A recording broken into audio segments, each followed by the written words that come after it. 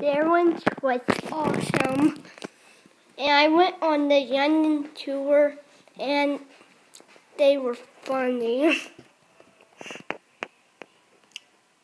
and I went on Fairy Tales and it was cool.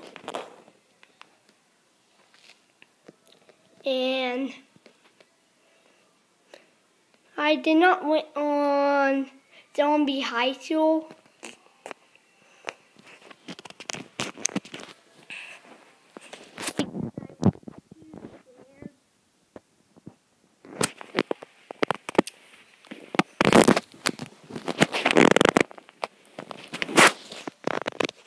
And I'm new. I'm